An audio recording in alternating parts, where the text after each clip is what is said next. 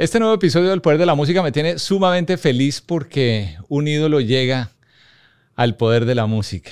Desde Venezuela, Jordano, 40 años de carrera, un hombre que admiramos no solo por estos años que nos ha deleitado con su música, por el ejemplo que ha sido por sus letras, por sus canciones, sus altas y sus bajas, pero que nos llena de mucha satisfacción saber que está bien, que sigue de gira y aquí tenemos mucho para conversar, así que con toda la emoción y alegría del mundo, hoy te doy la bienvenida con Giordano.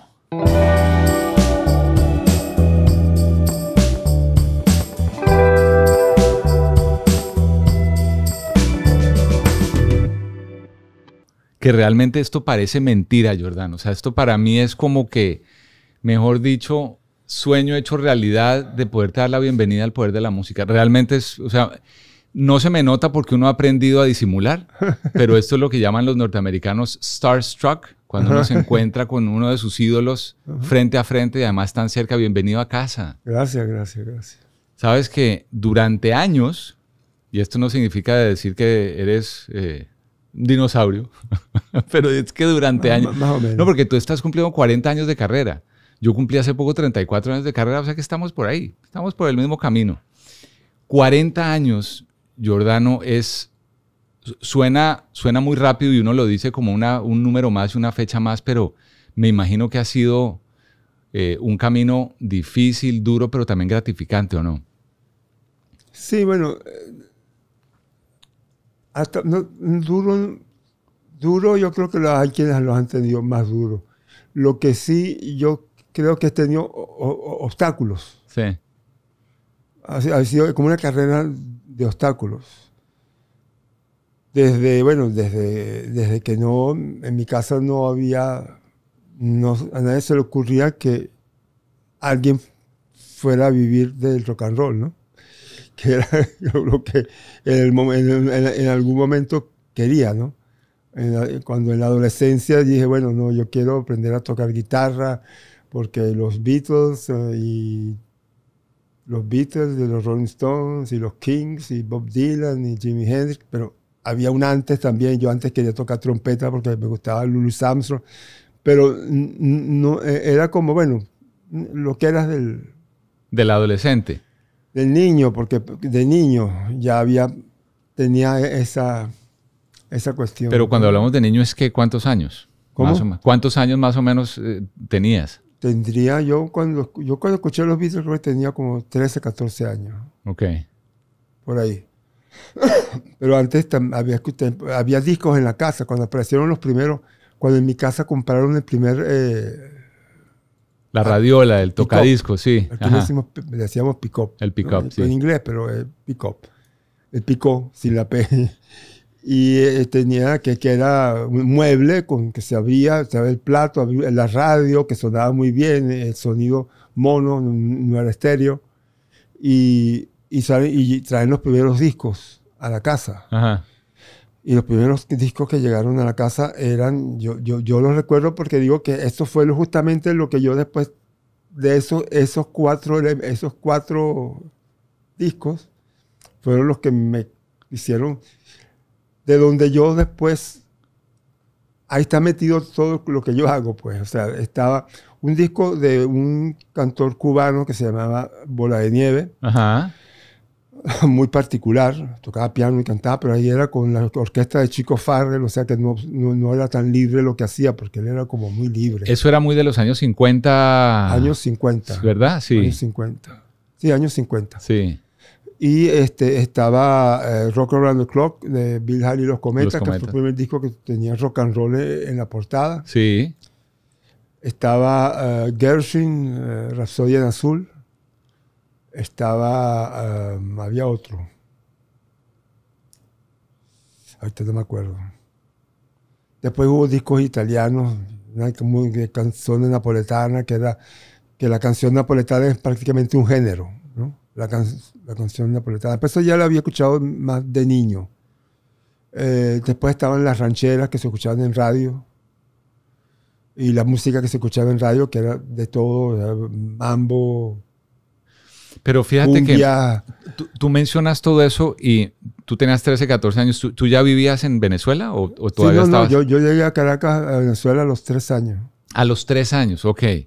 Y obvio, e, el, yo creo que esa parte de la geografía que nos tocó a ti y a mí, que es Venezuela, Colombia, tenía mucha influencia eh, mucha influencia anglo en, esos tiempos, en los años 60, 70. Obviamente yo creo que el mundo entero estaba era pendiente de los Beatles y de lo que sucedía en Inglaterra y después en Estados Unidos. Pero también había demasiado en el suelo nuestro, demasiados sonidos, pero lo tuyo además tenía otro componente y era lo que tú mencionas, Italia que eso era otro mundo completamente diferente a lo que había en Inglaterra y a lo que había en el resto de Sudamérica. Y eso lo encuentra uno mucho en la música tuya. O sea, es una mezcla de todo eso que es sí, fascinante. Se, se lo encontraba más en la música de Franco, Franco de Vita. él era más porque él vivió más tiempo en Italia, en Italia que yo. En mi caso estaban, estaba, eh, era, fíjate que la música italiana, Ajá me llegaba más, por lo que yo oía cantar. En la, por ejemplo, que es otra cosa que me di cuenta con el tiempo que fue la, gran influencia. Mi papá, mi mamá, yo muy pequeño, aparentemente una cosa que se les quitó con el tiempo, pero eran, parecía muy bohemio. Se les quitó con el tiempo. Se les quitó con el tiempo, sí. y ellos, que ellos eh, y el mejor amigo de mi papá con el que llegó a, Venezuela toca, era, un, era un artista, era artista plástico, al mismo tiempo muy, con las manos muy, muy, muy hábil. Era dibujante, pintor, este, hacía los, barcos dentro de las botellas y la primera guitarra eléctrica que yo vi la, eh, la hizo él. La hizo él con, con materiales, cabillas, elementos. La hizo él, una, guitarra eléctrica. Y él tocaba, él tocaba casi nunca terminaba las canciones que empezaba, pero se reunían y cantaban. Y había una amiga inglesa también, que yo recuerdo que era, una, era inglesa, una amiga inglesa. Y se, y se reunían, a a mi mamá le gustaba cantar. Mi papá, su sueño que no realizó sino hasta, eh, hasta el final de, de, su vida prácticamente era eh, que ser poeta. Él estudió filosofía y letras, había estudiado derecho, salió de derecho y estudió filosofía y letras, y pero él quería ser poeta. Y él al final de, su vida, o sea, en su, ya después de los 70 años, 60, 70, pero él este, escribió... Uh, haiku, la poesía japonesa. no puedo creer. un libro de haiku, escribió un, un, libro de, de, una, como una crónica de, de, viaje, porque él le dio la vuelta al mundo en velero. No, no, no, no, no. Y entonces, pero eso, o sea, eh, Renato, que era el que... El de la guitarra. guitarra había sufrido de parálisis infantil, entonces tenía las piernas pequeñas y débiles y caminaba mal y la amiga inglesa y mi mamá que quería cantar. Y yo creo que eso que, que me, me, quedó como en el subconsciente. De, de, alguna forma, sabía que había ocurrido, pero creo que fue, fue una época que fue, que fue, que después se, acabó también, que fue más feliz. ¿no? A mi papá trabajaba mucho y, me, llegaba a la casa y me llevaba al, cine los, domingos, porque trabajaba hasta el domingo. Y, y que fue que esa época, después, como yo creo que hizo efecto las dificultades y el exceso de trabajo y todos sus rollos ancestrales.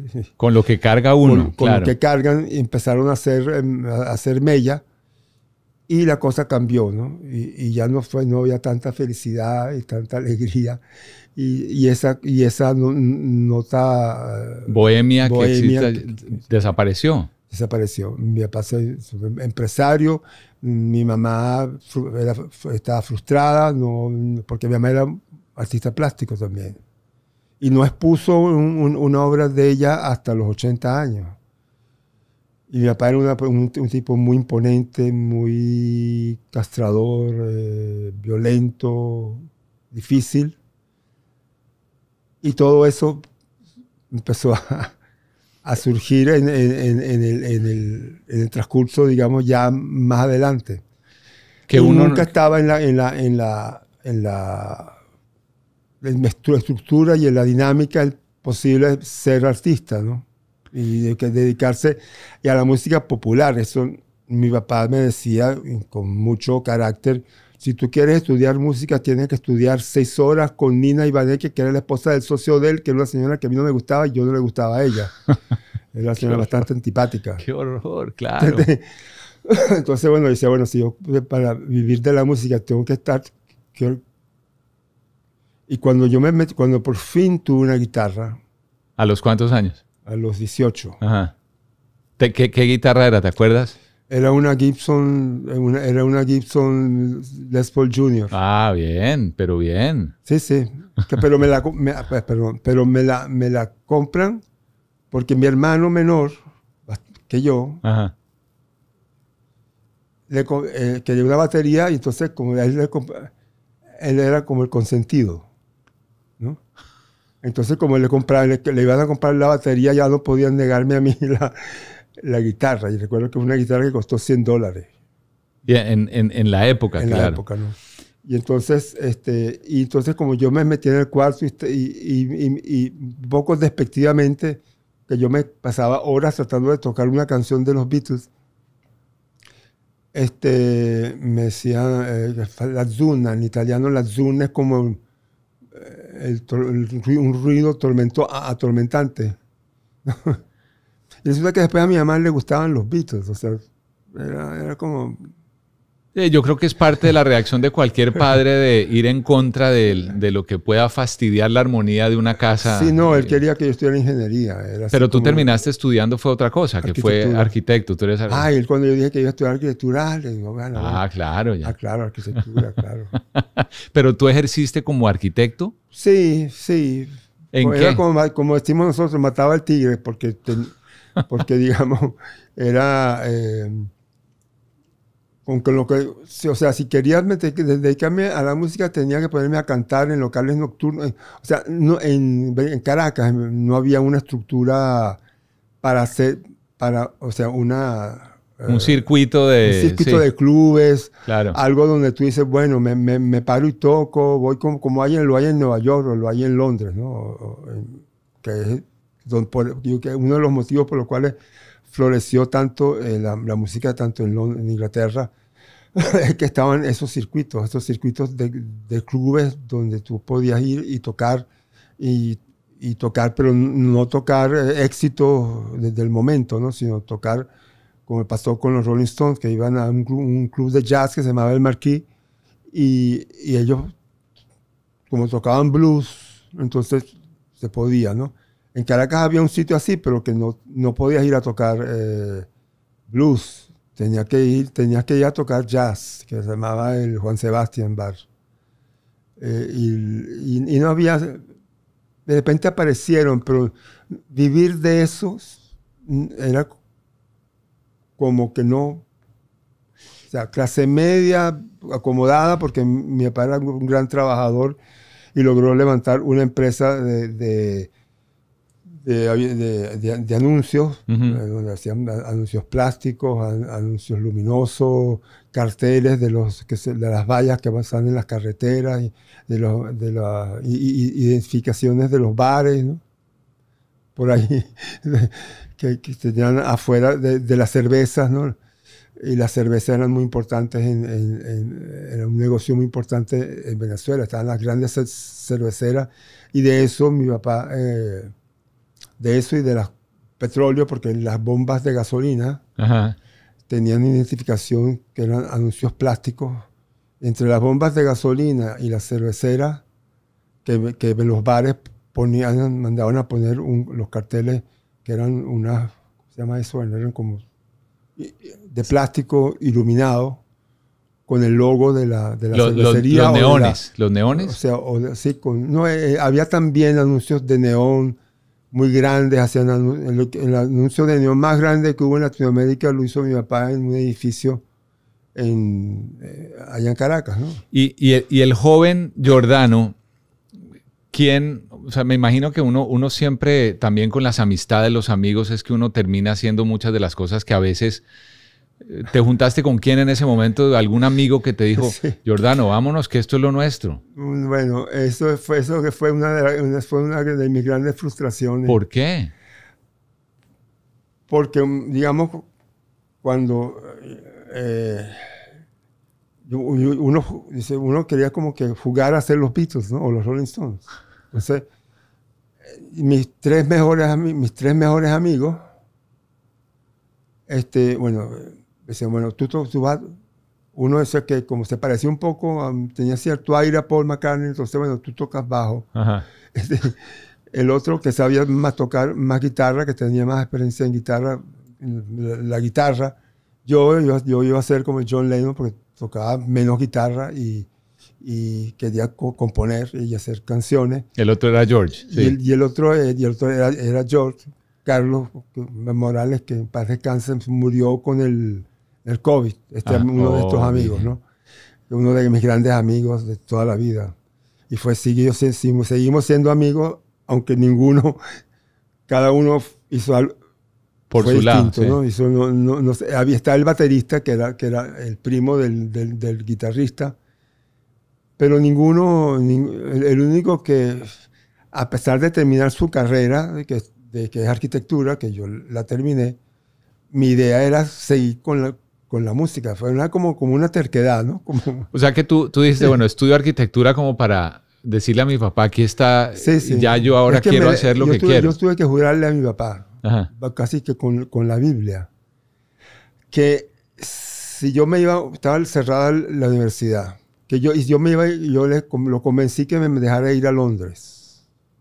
A, él con uno de, con, el, con este otro, uno de esos dos mejores amigos, tres mejores amigos para que yo iba a estudiar inglés y iba a, terminar la arquitectura en Inglaterra. O sea, tú le dijiste eso. Sí, y entonces como estaba cerrada la, Universidad Central, que era donde yo había empezado a estudiar, ya estaba empezando a estudiar, estaba empezando arquitectura, dije, bueno, yo voy y, me, inglés y, estudio... En Inglaterra. En Inglaterra. Y, una, amiga de, que conocí en la facultad empezando, el primer semestre, se había ido también a Inglaterra, ¿no? Y lo convencí. Pero él me hizo jurar sobre la, la Biblia prácticamente que yo iba a terminar la, carrera. Porque esas cosas que tienen los padres que quieren que los hijos eh, llenen el vacío, algo que ellos no hicieron. Mi papá había estudiado filosofía y letras, pero no hizo la tesis de, de grado. No hizo, no, o sea, no entregó la tesis de grado, pero estudió toda la, la carrera. y por rebelde sin causa, además, porque él era también fue rebelde. en su, claro, igual. En su momento. De hecho, tenía el pelo largo, andaba en pijama con, para, para, la universidad. El papá, mi abuelo era comisario de la policía. y era, y, y, entonces él no quería, eh, y él me hizo jurar que yo iba a terminar la carrera, prometerle que si me iba a, a, Londres, terminar o no terminar allá, o regresar y terminara, pero que terminara la carrera que había empezado. Entonces, como, como pasó eso, este, yo terminé. Pero mientras estudiaba, yo hacía grupo.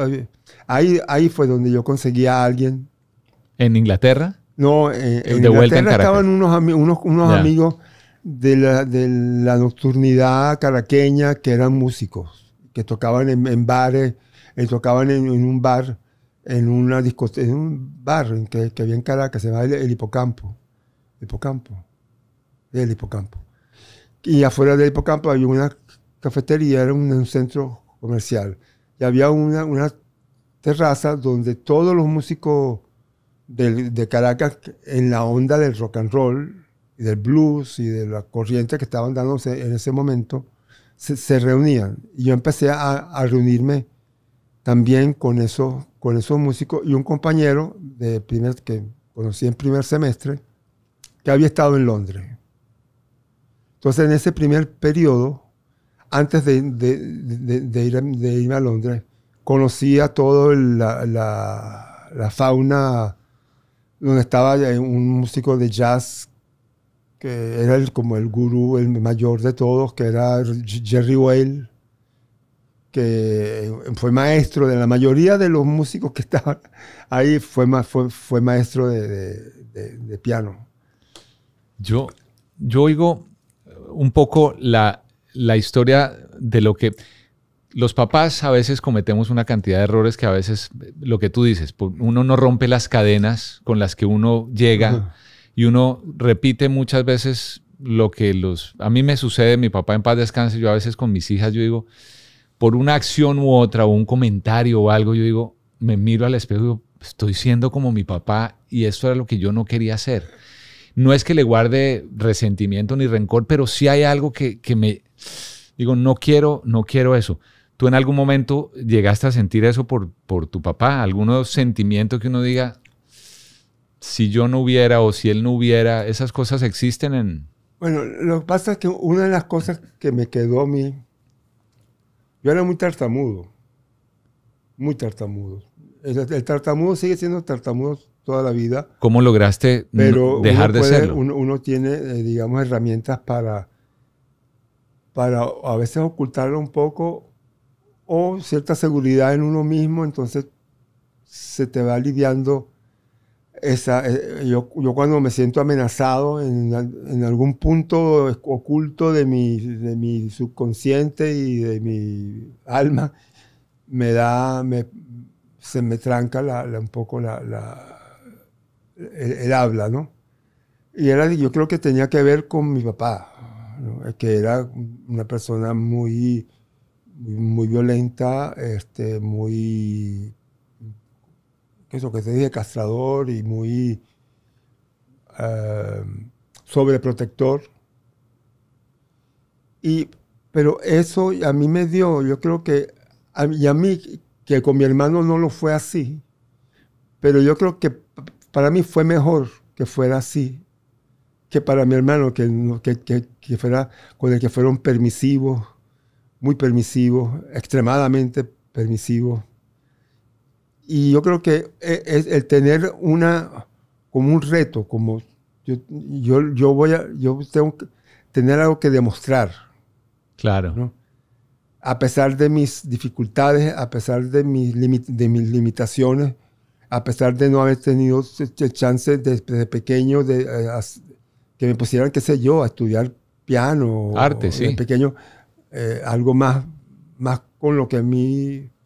De hecho, fíjate que cuando a mí me salió un... Eh, hice un... En el colegio, hacían cuando estaba en cuarto año. Los exámenes psicológicos. Año, ¿no? Ajá. un examen de... Sí, sí, sí. ¿Cómo se llama? De orientación profesional. Sí me hacen el examen de orientación profesional y yo recuerdo, lo que recordaba yo de ese examen, lo que recordé por mucho tiempo de que ese examen era que había lo que yo vocacionalmente era eh, hacia la medicina y el otro, y el otro cosa no me acuerdo, no me acuerdo cuál era la, y había un segundo que no tenía nada que ver tampoco. Pasan los, muchos años y revisando entre los, en casa de mis padres una vez fui y revisando entre los... mira que esta caja son, son cosas, papeles tuyos. Los exámenes. Encuentro el, resultado del examen. El resultado. Yo digo, en primer lugar, literatura. En segundo lugar, música. ¿Cómo es que no me...? ¿Cómo es que no, no, no? ¿Cómo, cómo es que no, no? Mira, literatura y música. No puede ser, no puede ser. O sea, y, yo, y como eso que yo, que biología, medicina, ¿en qué momento? O sea, o sea, es como si me hubieran dicho algo, como sabes, como eso que te lavan el, cerebro. Y no, no, tú, eres, o, eh, ¿cómo se llama eso que dije? Eh, medicina, en segundo lugar, ingeniería. Sí. Y yo hice el cursillo de preingeniería además y me rasparon. no, me rasparon, sino que como me rasparon en matemáticas en el examen de reparación, no podía entrar en ingeniería. Yo, eh, fue algo así que como yo subconscientemente no pasé los exámenes, cuando después, cuando ya había pasado la oportunidad de entrar en ingeniería, hago el examen de matemáticas y sacó casi, saqué 19, o sea, hubiera podido el profesor que me, que me ayudó en la cosa me decía, tú ves que tú, eres, tú, tú, lo sabes todo, lo que pasa es eres muy desordenado. Y, y, entonces yo recordando toda esa, todas esas eh, cosas, digo, oye, ¿cómo tú le jodes la vida a un niño? Porque cuando, claro. cuando si tú te fijas en lo que deja que fluya, ¿entiendes? Pero Jordano, es que yo creo que pensando en esa época, y no, no por justificar a los papás de uno o los errores de los viejos de uno, pero eran, era una época donde el arte, fíjate que hoy en día, 2023, seguimos en esa lucha de ver el arte. Yo lo veo como una gran salvación. Yo he tenido la suerte de que mis hijas, la mayor es artista plástica y la, la menor es música. Entonces, para mí eso es la gran bendición porque yo siempre he ido por el lado del, arte y mi vida la he llevado por ese camino y yo sé la importancia que tiene el arte para el desarrollo de la persona, de la personalidad, del ser humano, para la empatía que creo que necesitamos y debemos tener. Pero en, esas épocas, si tú no eras ingeniero, abogado, médico o no sé, o, arquitecto. esos tres. Sí. Arquitecto, cuidado. Sí, arquitecto ya era como una variante de... Pero si no eras ninguna de las otras, eh, como que la sociedad, ¿qué va a pensar? Necesitamos y eso es lo que va a dar el sustento a la casa. Y esos tiempos han cambiado mucho. Sí, bueno, ha cambiado mucho. Y, en, que, digamos, en la Universidad Central, que era, cuando yo entré en la Universidad Central, dije, esto es lo mío, porque además la libertad, las corrientes que había, filosóficas, ideológicas, este, y, en la, y en la arquitectura, era como una escuela, era más como, no, no, había escuela de arte que después la, la, hicieron, pero no es de arte que aprendías a pintura, es más una escuela de arte mm, hacia, la, estudios sobre el arte, no a ser artista. Ya. Como historia del arte o algo así por ahí. pero era una, carrera. Ya. Que, para de repente casi todos los que estudian arte terminan siendo escritores, ¿no? Más, ¿no? Pero en arquitectura, cuando yo entré en arquitectura, era, había de todo. Músico, gente de la música, comediantes, escritores, actores.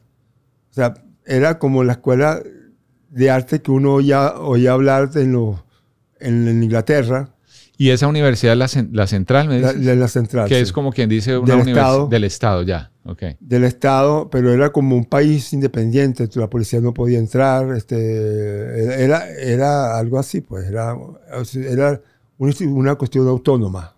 Ya. Tenía elecciones eh, para el, para el rector y para los decanos de, la, de las facultades. De hecho, a veces había problemas y la allanaban como pasa con las universidades estatales en casi todas partes del mundo, que son autónomas y son... Sí, y, hay mucha, eh, siempre hay revueltas alrededor de ir en contra de... ¿Fuiste tú algún rebelde de esos? De no, ah, hubo, cuando yo entré, justamente estuvo cerrada dos años. O sea, estuvo cerrada un, año porque era cuando, eh, yo, cuando yo estaba empezando, era el mayo francés. Entonces, la corriente que venía desde Europa con el mayo francés y, y los, disturbios en las universidades en Estados Unidos y todo eso mm, también... Lo copiábamos todo. Sí. La, renovación no tanto copiaba porque había algo... E, era como, era como, como si la corriente eléctrica se...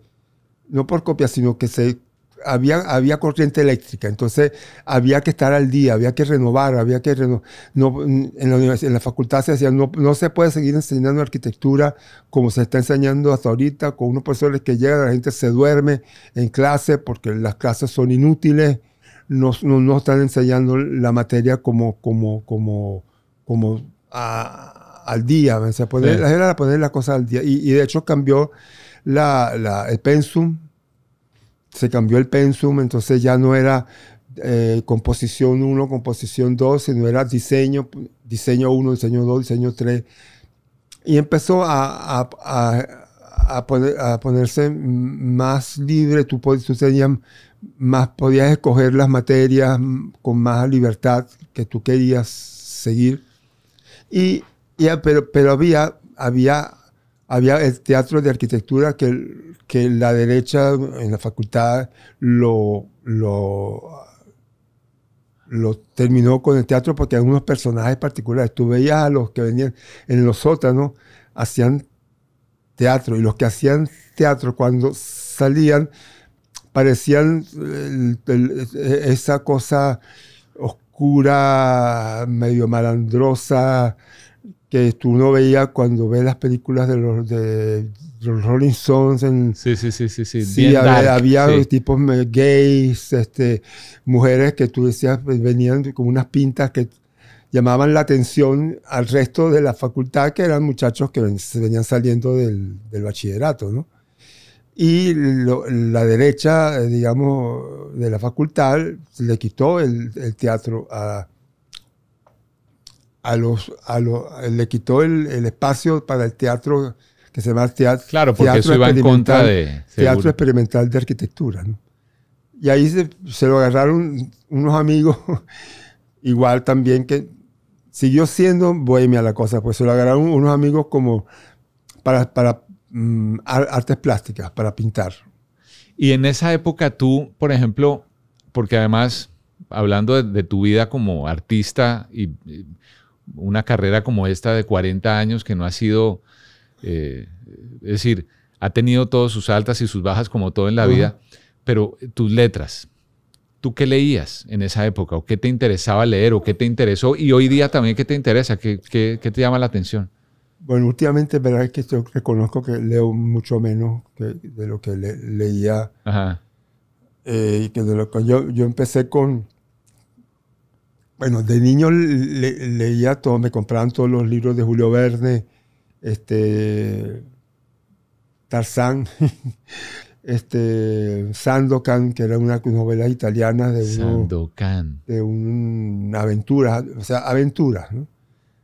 Y cuando estoy dentro en la universidad, mm, aparece, aparece como libros así que eran como, que sí, Hermann Hesse, este, después Sábato y toda la literatura latinoamericana. El boom latinoamericano fue así como la revelación. Entonces leía a Borges, este, García Márquez, y eso fue una gran influencia en mí, porque era ya sobre todo mm, García Márquez, ¿no? Pero eras más de no, eras más de novela, de que, de poesía, poesía también. No, no, yo no leía eh, mucha, yo nunca leí mucha poesía. No poesía, más de más de novela, historia, novela.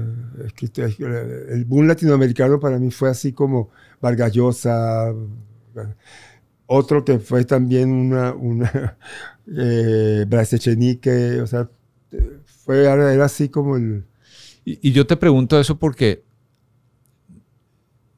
y de repente estoy, no tengo idea o no lo tengo registrado, pero ¿tú has escrito alguna, algún libro? No. ¿No te ha llamado la atención nunca escribir una no, novela? siempre que empecé un libro, siempre que he pensado, bueno, voy a escribir un cuento. Ajá. Entonces, por ejemplo, que quería escribir una, una, eh, con una, un, periodo, bueno, yo siempre fui, me gustaba mucho salir de noche y perderme un poco y descubrir sitios nocturnos y meterme donde nadie me ha llamado. y este, en, una, en, una, en una oportunidad, yendo con, con, otro amigo que era también, que era como mi, mi guía nocturno, porque era más... tu, Sancho, tu Sancho, ¿Ah? tu Sancho Panza. Eh, sí, Cheo.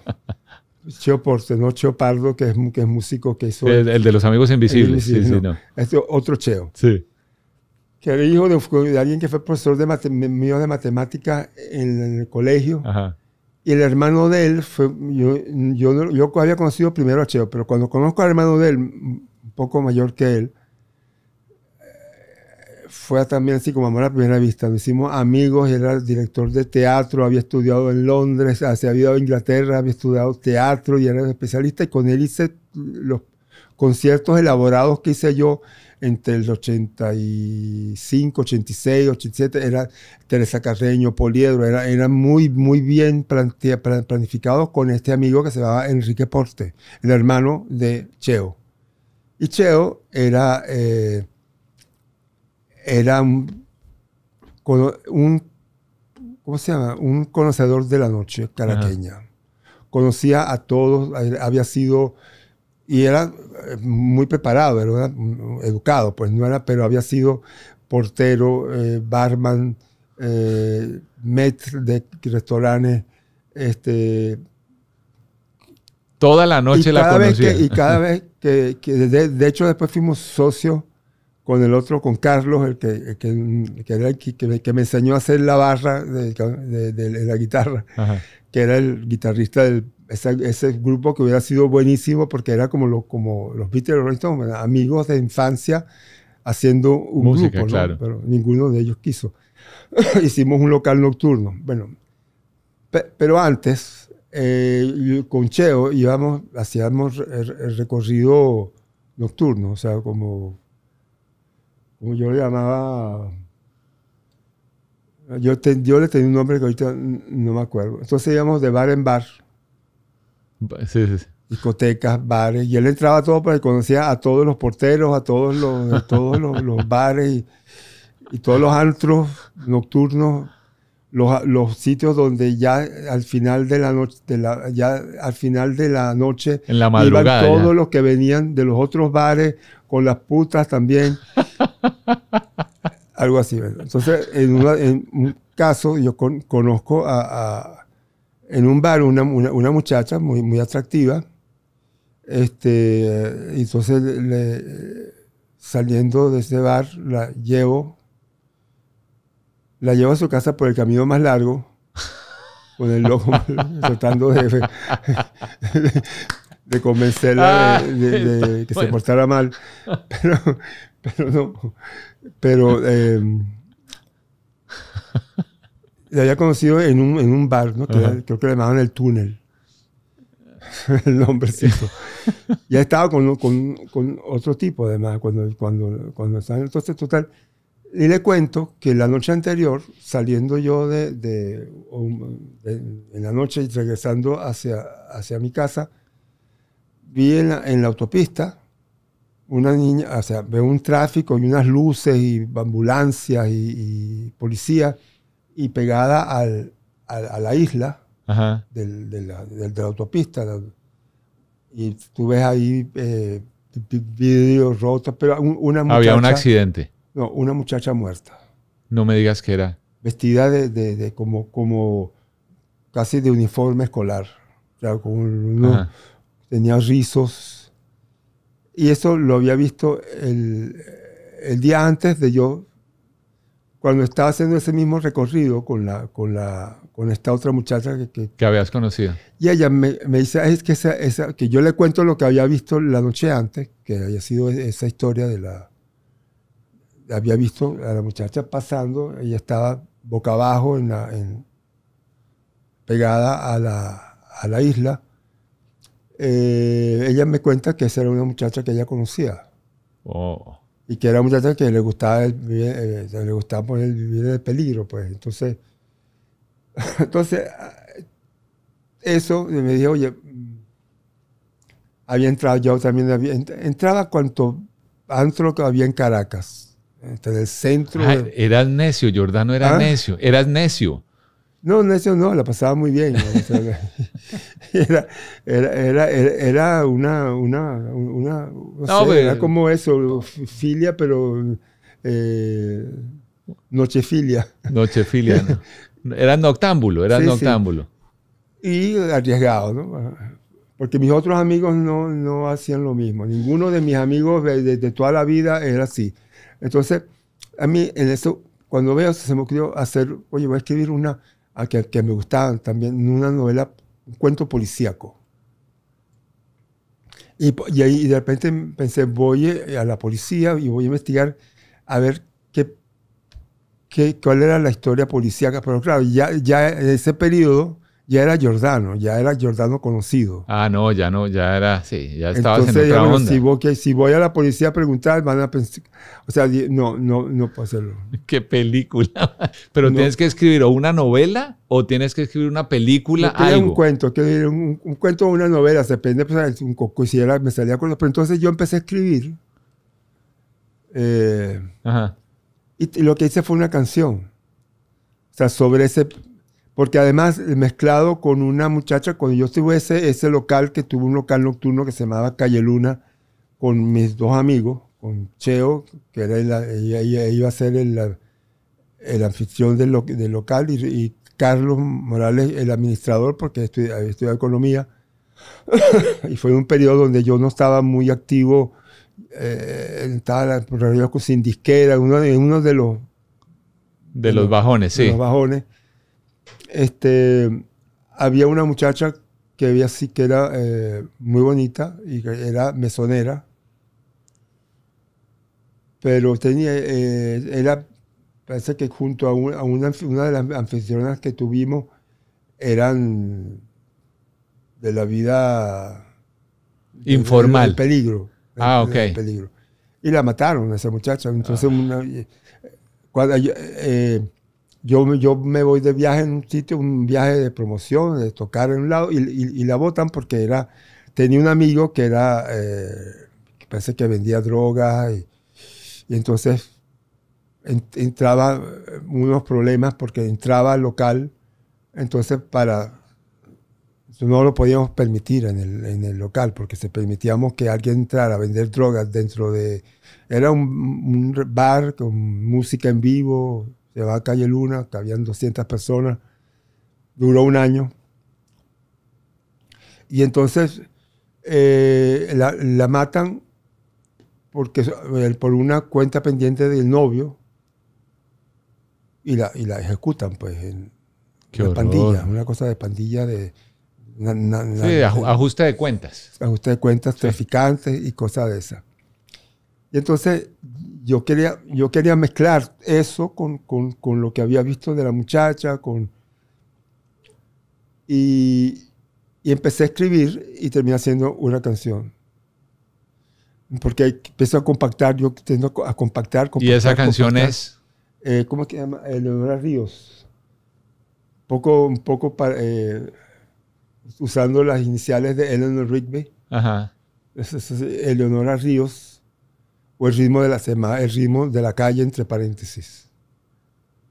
Entonces contaba la, la historia de una, de una Eleonora Ríos que con imágenes, ahorita no me acuerdo exactamente de todas la- las imágenes, pero era basada en esas dos historias, estrellitas de cristal, que era el, eh, o sea, es una canción que no- Claro. era- no, no era una canción comercial, pues. Pero era- retrataba lo que tú habías... Trataba que yo, yo la grabé, está, en, está en el álbum. eh, ¿cuál, ¿Cuál es que álbum es que está? Secretos de la Noche.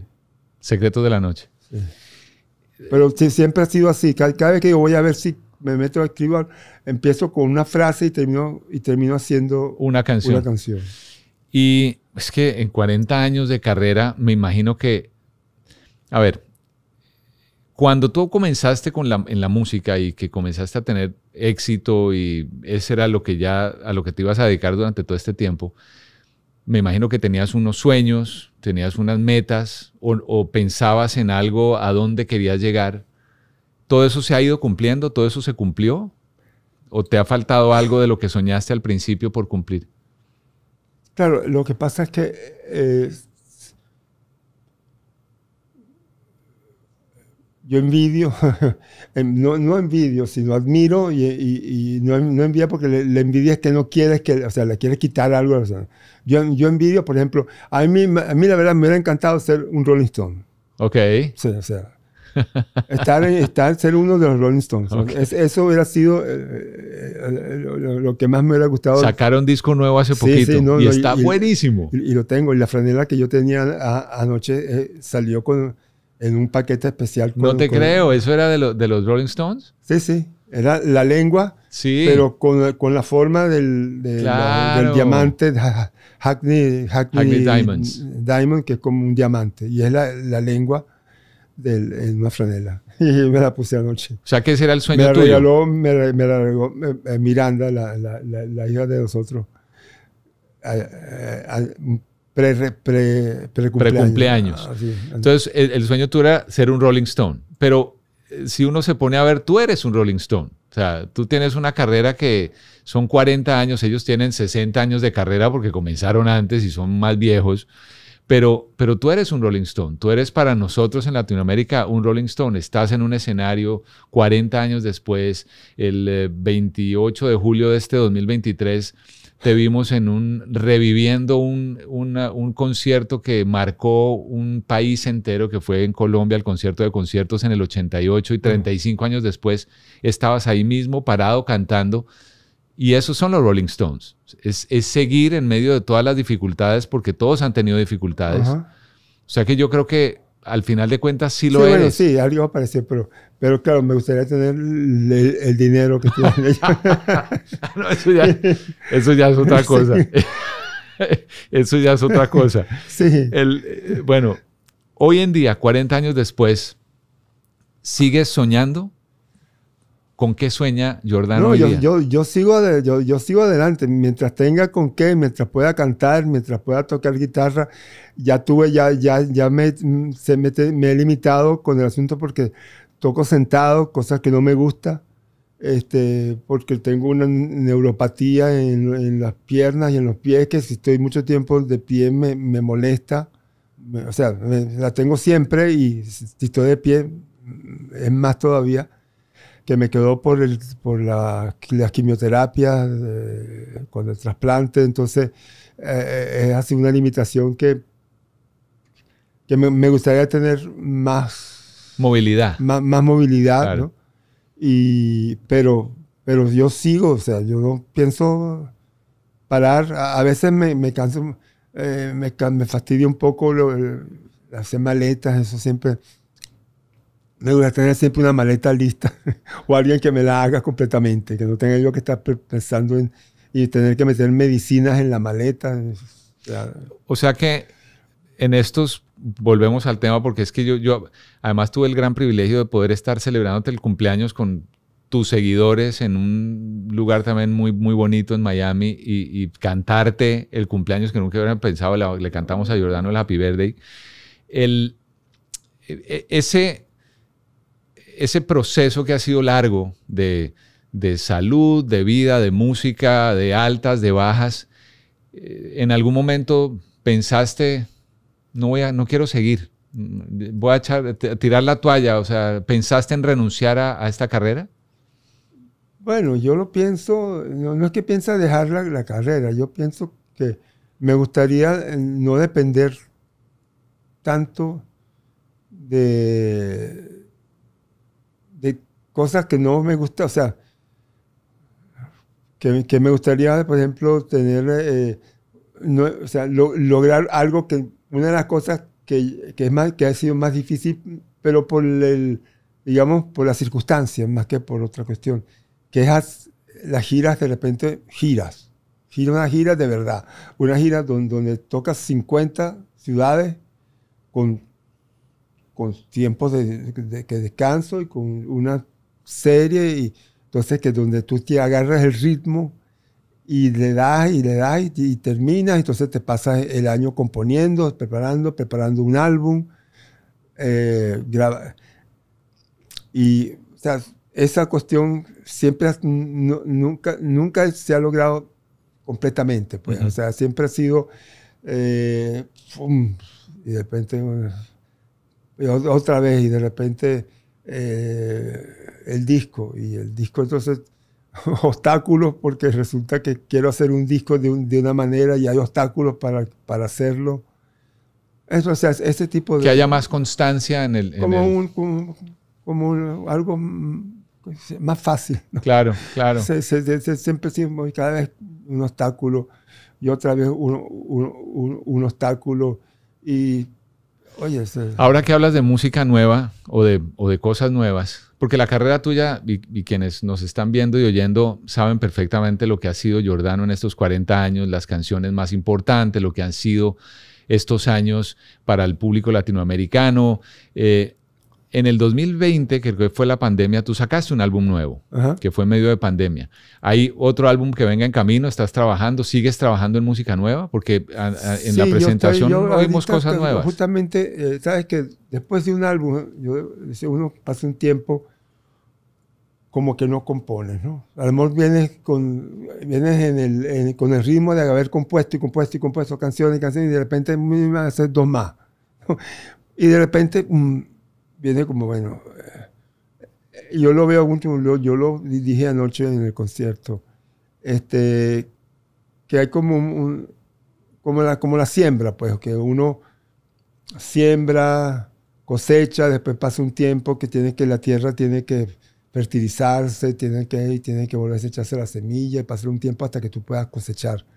Y eso, eso es parecido, porque que terminas un disco y queda como seco, vacío, porque sacaste todo lo que tenías que sacar en ese momento, de lo que venía y todo tu, de alguna manera reflejar, es ficción, no, no es- las canciones son ficciones, pero son las ficciones vienen de la realidad, ¿no? Son, es realidades convertidas en ficciones.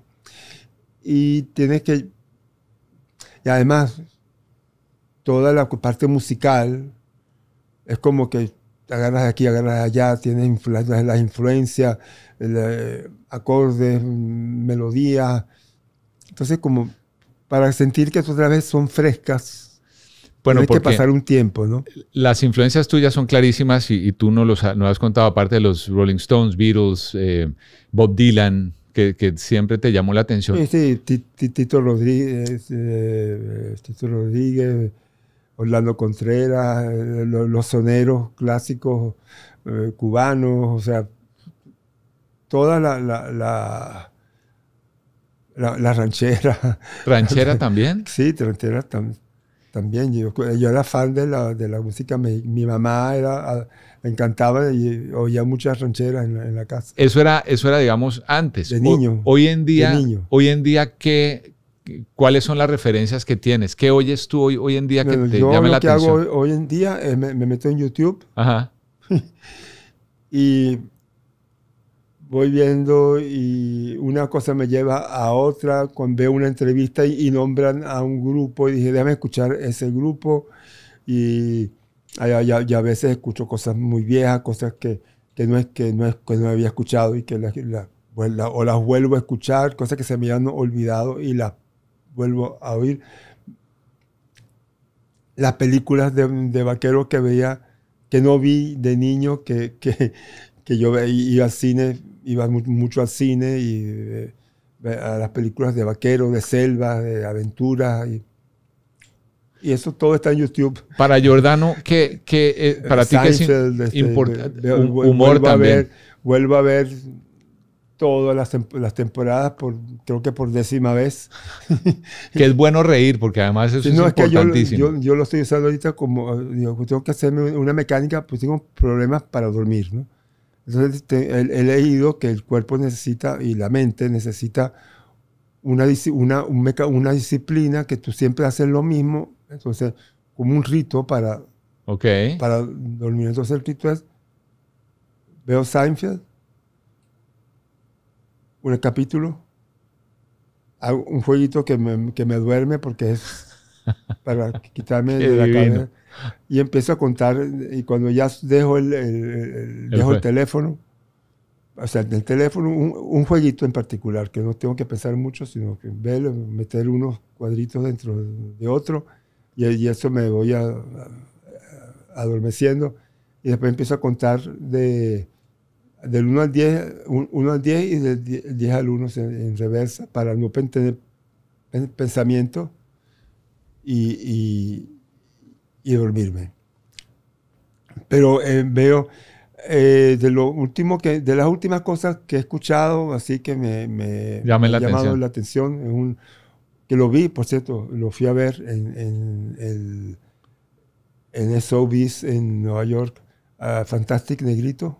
Fantastic Negrito, mira qué chévere. ¿Lo viste? Sí, sí, fui a verlo, fui, a verlo. me costó nada, me costó 10 dólares. Algo así. creo que yo creo que era un showcase, ¿no? Para, para ti, Jordano, ¿qué es importante? ¿Melodía? ¿Letra?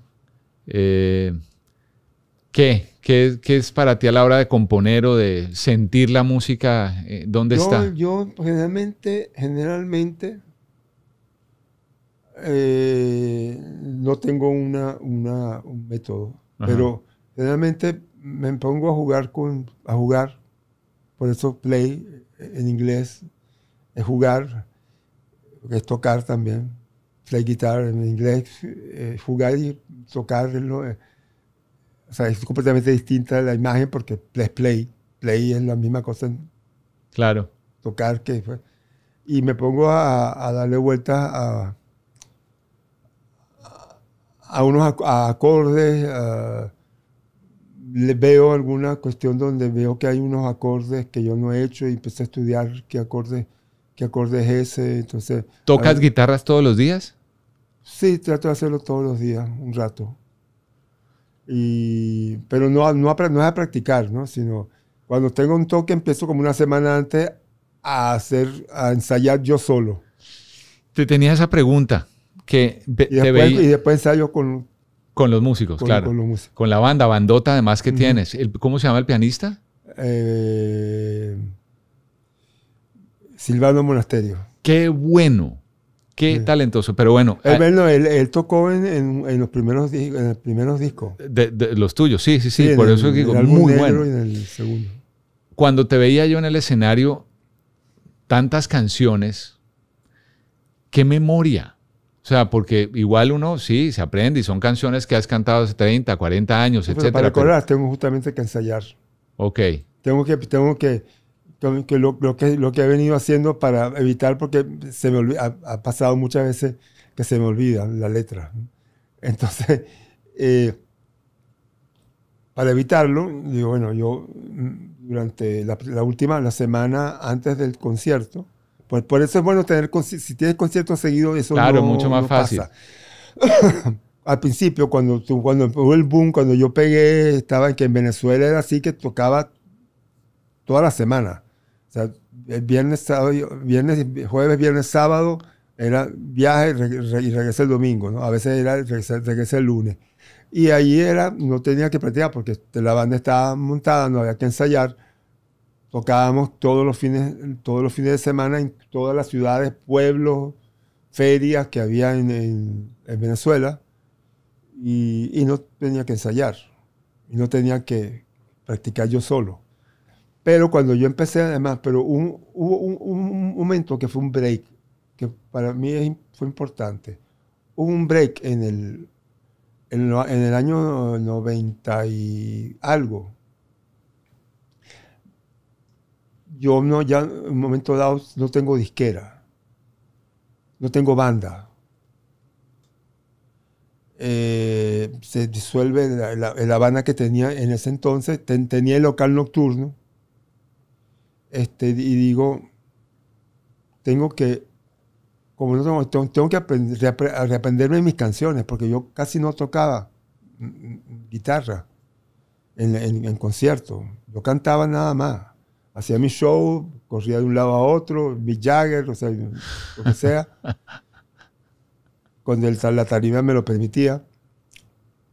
De ejercicio, o sea, aeróbic, taebo, o sea, tenía mucha movilidad, ¿no? Y, y pasa, y pasa lo de, lo, eh, que, lo de la disquera. Lo de la disquera, porque hay un momento que la industria nacional cambia completamente. Entonces, yo no tengo, no, no tengo disquera, tengo el, el, local nocturno. El local nocturno yo quería tocar, era yo de vez en cuando, o sea, periódicamente tocaba porque era, atraía público importante para el local. Y, este, y los músicos de la banda me salieron, los que tienen de la banda me salieron con una patada. O sea, me dijeron, no, pero yo, no, yo cobro tanto. digo, pero o sea, no es lo mismo, no es Giordano en concierto es en un local nocturno donde yo sé que ellos cobraban una cantidad y, o sea, yo dije, mira, ¿sabes cómo es? Voy solo. Hasta uno de los músicos tuvo los riñones de decirme, no, tú no puedes hacer eso. ¿Cómo que no puedo hacer eso? O sea, por favor. Entonces, bueno, no tenía banda y empecé a estudiar otra vez mis canciones. A estudiarlas porque no las tocaba. Había acordes que se habían rearmonizado en estudio con los músicos, entonces este acorde no era exactamente el mismo que yo, como algún acorde que no era el mismo con que yo había compuesto la canción, entonces en algunas veces decía, no me importa, lo, hago como la, como la compuse, pero en otras oportunidades sí quería este, aprenderme, porque era interesante también, ¿no? Darle un, eh, acercarme más a, como a lo, a, lo, que se había hecho en el estudio con, con la banda, porque realmente había sido eh, hacer eso que es lo que me gusta a mí, que es lo que no pasa hoy en día, que lo dice Keith Richard en una entrevista. Ahorita, o sea, no hay, eh, son pocos los que se ponen y se miran y tocan, sino es muy, muy, mucha, muy, muy sintético, muy, mucha tecnología. Eh, tecnología, programado, frío. No, no, Entonces, entonces yo me empecé a aprender, a reaprender mi canción para poder hacer conciertos yo solo con guitarra. Yo, la guitarra y yo, más nadie. Y lo empecé a darle, empecé a darle, empecé a, a, mejorarlo y empecé ya a poder hacer para tener, me tengo que hacerlo porque dentro de 15 días voy a tocar yo solo, porque no tengo banda. Y, y lo hice y después hasta le empecé a agarrar el gustico.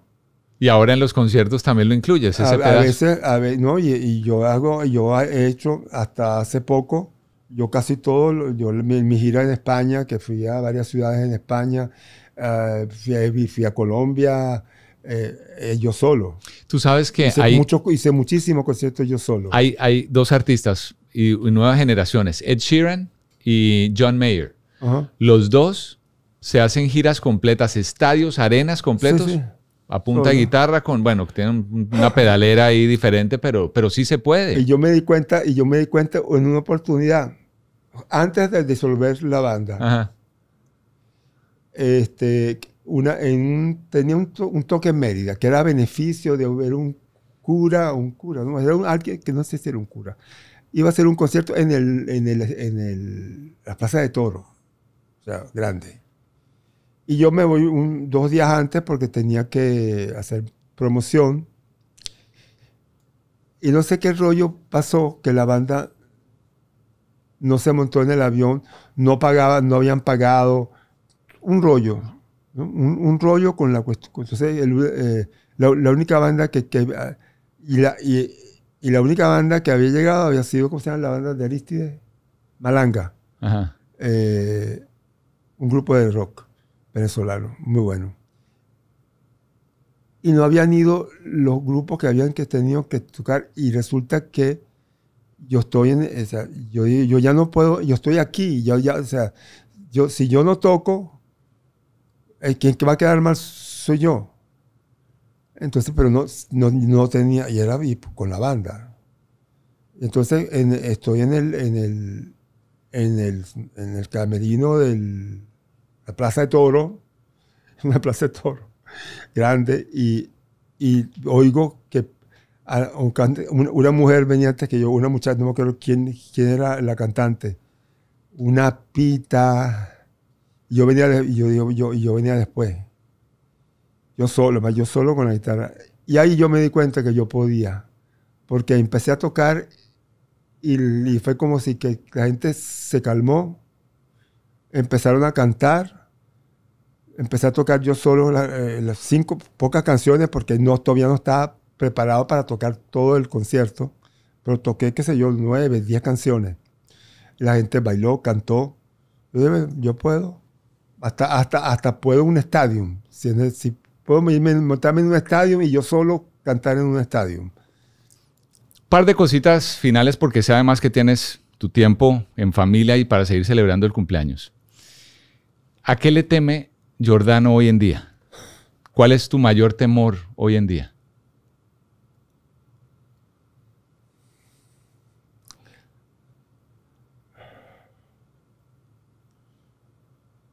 No tengo... Eh, bueno, a la muerte siempre le tengo miedo. Este, eh, y ahorita le temo a lo que está pasando en el mundo. Porque el mundo está pasando por un estadio da, da, miedo. Da miedo lo que, lo que, lo que está ocurriendo en todo el mundo. Es verdad, es verdad. Y temo por mis hijas, por mis nietas. Este, ¿Cuántos años tiene la nieta? Por nosotros. ¿Cuántos años tiene la nieta? La mayor tiene 10 y la chiquita tiene 5. ¿Buen abuelo? ¿Eres buen abuelo? No, es, terrible, es terrible eh, lo que nos tocó vivir a los que teníamos una estructura que era la, vida era la, familia, vernos la familia, ver a los, mis padres, veían a mis nietas. Yo viví como inmigrante esa pérdida de no tener a mis abuelos, sino ahorita, ahorita te salva un poco lo que tiene la tecnología. La tecnología, ¿no? Entonces yo puedo llamar cada vez que me da la gana a mis hijas o a, a mis nietas que están en España, mis dos nietas, y a las otras tres hijas, bueno, hay, eh, una, eh, la menor de mis cuatro hijas eh, está en Nueva York también. Pues ya no la veo porque ya, no vive con nosotros, pero nosotros tenemos a, la pequeña que Miranda, que termina el año que viene universidad, college, que está con nosotros, que es brillante. Las dos pequeñas son así, que estudiaron, fueron sobresalientes en, notas con becas y todo. Este, bueno, tenemos por, por, por, ellas porque el mundo... me imagino el mundo en 20 años, si es peor que el que, que este por lo que está pasando, me, me, me, asusta, ¿no? Y te iba a preguntar qué, qué te hace feliz, pero yo creo que ahorita hablando de tus hijas y tus nietas, creo que esa es la mayor felicidad, ¿o no? Sí, yo, yo viví un, periodo muy difícil. ¿no? Yo viví un periodo que estaba, que simplemente yo me negué a, a, morir. Entonces después de eso, como que es como, como que yo estoy viviendo, ¿cómo se llama? Un periodo, no sé si es una ñapa. Tiempo extra un, tiempo extra, ¿no? Entonces, es un tiempo extra. Y ese tiempo extra eh, lo agradezco. Entonces, lo que siento agradecimiento. Mm, ciertas facultades físicas mm, las perdí, ¿no? O sea, no tengo la misma energía porque eso fue muy, muy, muy fuerte, ¿no? Eh, el deterioro físico en, ese periodo. Pero todavía estoy aquí, entonces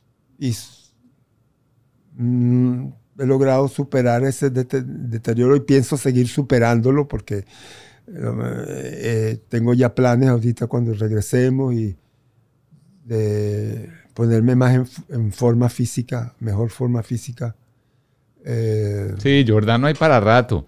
Jordano hay para rato. Una última, Jordano, que evidentemente no puede faltar en, este podcast que llama El Poder de la Música. Para Jordano de Marzo, ¿cuál es el poder de la música? Fíjate que el poder de la música creo que Yuri lo ha notado más que yo directamente, porque cada vez que yo tengo... Fíjate, ayer, es un ejemplo yo estaba preocupado porque vengo de un catarro y está flema y tos y no sé. El, temor, uno de los temores míos es no poder cantar, ¿no? Que la voz mm, se, me, vaya, ¿no? Y resulta que a pesar de mm, tener eso y tener con, congestión y una tosecita con, que, no termina de, de quitarse, pude cantar. Y muy bien. Hubo ciertos momentos en que, oye, que no lograba, eh, que se me atravesó un pollo ahí, sí, sí, sí. sí una, digamos que una flema, o sea, se atravesó una flema. sí, y, entonces me, me, costó, y son una canción que empieza muy arriba, en, el, en, la melodía está muy, pero yo sé, y además una de las cosas que yo, que, que yo sé que si estoy bien, yo ahorita tengo más resistencia cantando que, que hace 20, 30 años. Bien. Y porque, además porque también por el manejo y me, me, dio mucha alegría escuchar el disco de, de los Rolling Stones y escuchar que Jagger, que tiene 80 años, o sea, canta que, sí. mira, o sea, no se le ve con energía, pasión, o sea, brutal. No sé si tú escuchaste la canción, las canciones del disco. Sí, sí, sí, no, y tiene todo, parece, brutal. parece el Mick de hace 50 años. Es un poco demasiado, eh, ¿cómo se llama? La voz está un poco, le, pusieron un poco de efectos que me, me, hubiera gustado que no se lo hubieran, hubieran dejado, quitado un poquito. Pero, pero, pero está ahí, está muy, muy bien y moderno y hay canciones muy buenas. Bueno, entonces, eso es como un ejemplo para mí. Entonces, yo, yo he visto los Rolling Stones seis veces. Desde lo, lo vi por primera vez en, el 71, nosotros lo hemos visto cuatro cuatro. Y siempre lo, lo disfruto. Entonces es como, es como bueno, si, ellos, si, él, si ellos pueden, yo también puedo. ¿no? Es algo así, ¿no? Y... No me acuerdo cuál fue la pregunta. No, no, y estábamos hablando del poder de la música para ti. Y el poder de la música, cuando yo estaba mal, cuando yo estaba diagnosticado, el cáncer, que iba y tenía ensayo. Bueno, yo, yo a veces tenía que eh, transfundirme, o sea, tenía los trabajos tenían que ser en un periodo porque yo tenía quimioterapia y no podía ser, tenía quimioterapia cinco días, por lo menos una semana después de la quimioterapia no estaba en condiciones y cualquier toque tenía que ser en el periodo antes, después venía otra vez la quimio. Eso fue antes del trasplante, ¿no? Y alta de trasplante estuve 47 días. Yo perdí 30 kilos. Yo estuve al borde de la muerte. Estuve en, coma tres veces. Eh, ah, por eso digo que es tiempo extra, ¿no? Y, era así que, bueno, ¿qué hacemos? ¿Qué hacemos? vamos a discutir qué hacemos con el cuerpo, ¿no? cosas así, porque estaba en coma y no se sabía si me iba a despertar. Bueno, entonces todo eso eh, pasó y, le doy gracias a, Yuri, a todos, a todo lo que me... Y, la música fue parte del... De la sanación. De, esa sanación. Yuri me decía, cuando tú vas a tocar, cuando vuelves del ensayo, tú eres otro. Vienes como, vas así, como... Y cuando regresas, estás así.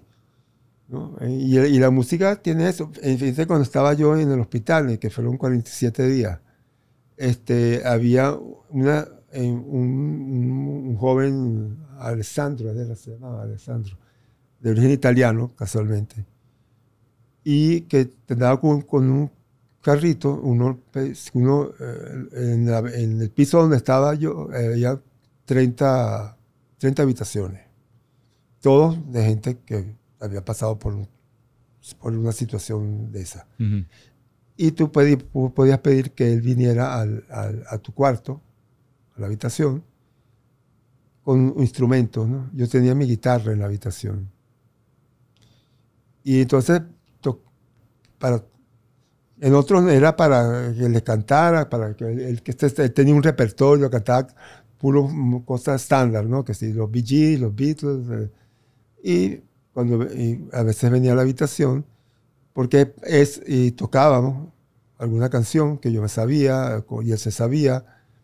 Y, y eso era, evidentemente eso sí sirve para, la música sirve para, para sanar, ayuda, pues es un, complemento, es una ayuda a, sanar. No sé cuál es el efecto mágico que, tiene y por qué tiene ese efecto, pero lo, pero lo tiene. Ay, Giordano, no sabes la alegría de conocer tu historia, de oírte, de tenerte aquí. Estoy tan agradecido contigo, con Yuri, por, por haber aceptado esta invitación que me llena de tanta alegría que es que se me va a escurrir una lágrima, pero, pero la, estoy conteniendo. De alegría, eh, admiración que sabes que te tengo, te lo escribí hace poco. Doy gracias por la empatía tuya, por la simpatía tuya, por la amabilidad tuya, por el cariño con mi familia también de ustedes.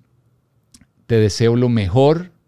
Sigue haciendo música, por favor. Saca canciones nuevas, que tienes una habilidad, tienes un talento que lo hemos disfrutado durante tantos años que eh, sabemos que ese legado va a ser eh, para siempre. Y, nada, agradecerte este tiempo porque sé que tienes muchas obligaciones y haber sacado este tiempo de tu familia y de, y de quienes te van a celebrar tu cumpleaños ahorita, pues yo sé que eso, eso implica tiempo y sacrificio y te lo agradezco mucho. Muchas gracias. A ti, gracias. Ya tengo dos canciones nuevas. Sí. Sí. Ah, no. Entonces, parte dos después con Giordano para ver más. Pues, estoy preparando un disco, pero es un disco de versiones de canciones.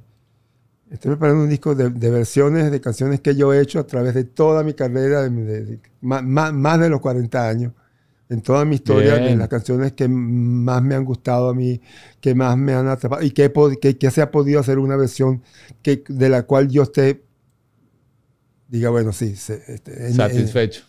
satisfecho. Jordano, bendiciones y muchas gracias. A ti, gracias.